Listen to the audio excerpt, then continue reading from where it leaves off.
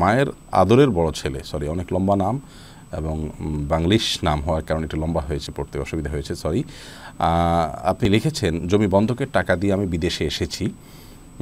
এখন আমি যে টাকা রুজি করছি সেই টাকাটা কি হালাল হচ্ছে? কোনো অসুবিধা নেই। আপনি বন্ধক রেখে কারোর কাছ থেকে টাকা নিয়েছেন, সেটা দিয়ে বিদেশে এসেছেন। এই এই বন্ধক দিয়ে টাকা গ্রহণ করা, ঋণ নেওয়া, এটা হারাম কিছু নয়।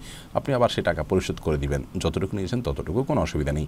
আপনি নিজে থেকে যদি আপনি বাড়িয়ে দিতে চান তার প্রতি আপনার যে আপনার আপনার প্রতি তার যে অনুগ্রহ, সেটার স্বীকৃতিস্বরূপ তো দিতে পারেন।